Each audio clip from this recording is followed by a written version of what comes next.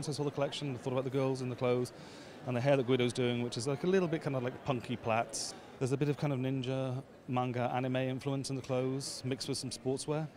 And they have a set for the first time. Usually, Marc by Marc doesn't have a set. So this is almost like skate ramps, plywood kind of. And that's why they're dragging the girls off for an hour rehearsal. So we're going to be.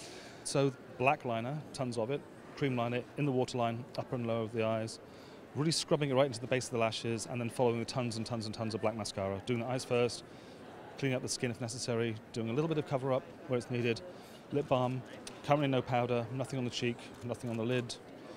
Sketching in a couple of the eyebrows on some girls, but um, that's not really part of the look. It's mostly just the little impact of this tight black eye. Working with Marc and the team, and they showed me the quite sophisticated clothing, and I just felt it needed a bit uh, of offness, a little bit of character. For you know, the clothes aren't sweet; they're quite sophisticated. So this kind of young hair sort of sends it somewhere else. It was inspired by Ninja and manga and Wednesday Addams, and you know, tough girls, not sweet girls.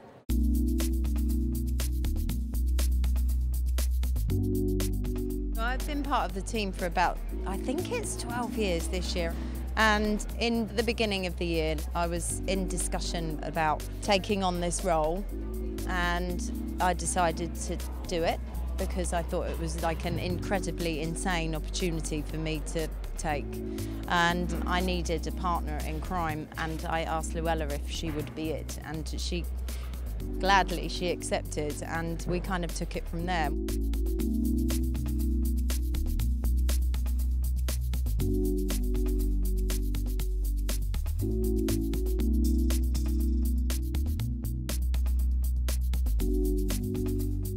It's a real privilege. I love it. You know, it feels like it's a, a very collaborative company and a very cool company. And Marc's always been a hero of mine, so it was a no-brainer, really. I love it.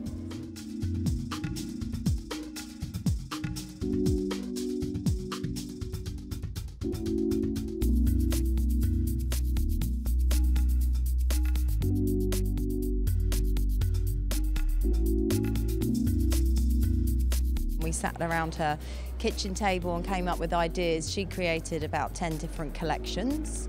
We went from there, and then that's what we've ended up with out there. It's, we're quite pleased.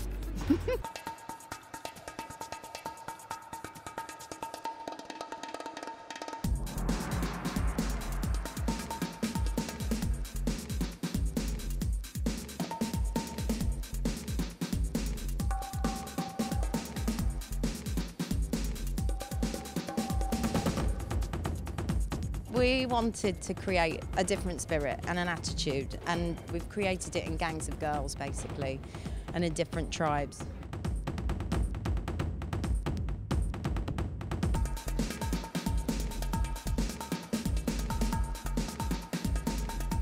References came from all over the place. It wasn't anything in particular. I mean, there were some things the sport and the ninja and the motocross and the BMX and the kind of Japanese culture and youth culture and all of that mixed with the Marc girl and the spirit of who she is and what we're trying to achieve. We needed to create a new, a new version of that.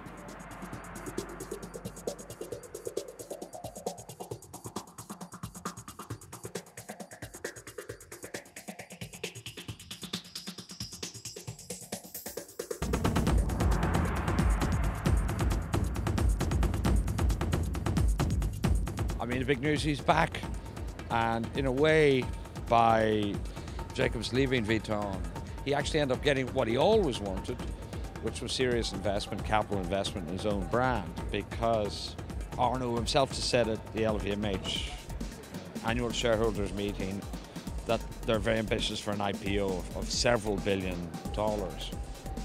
And in order to do that, they need to keep growing the business, and you can see this is huge capital investment.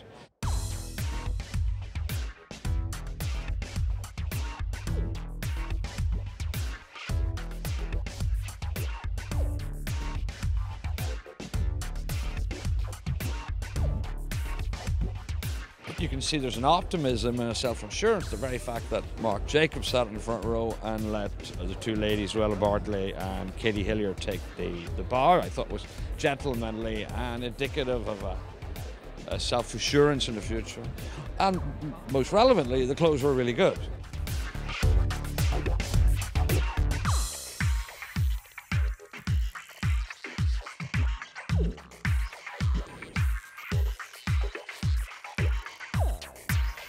It's marked by Marc Jacobs. That was the hit this week.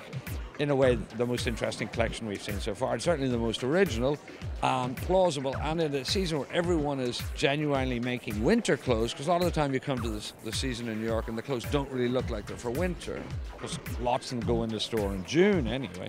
But they made these kind of protective, bound up clothes, alpine looking, practical boots that you could imagine wearing in these, you know, streets, but that, they look new. Pretty impressive.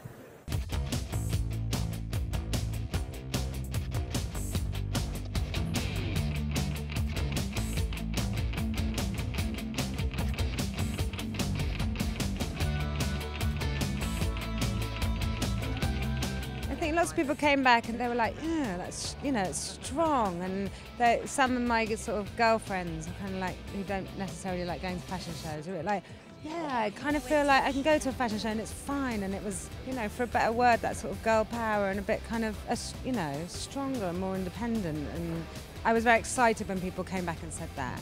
I was very pleased that people took that away from it.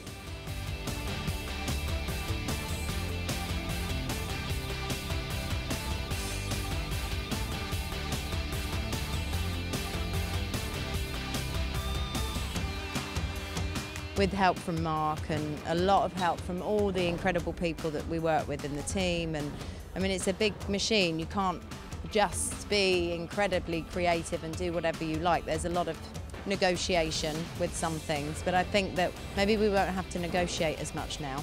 Hey.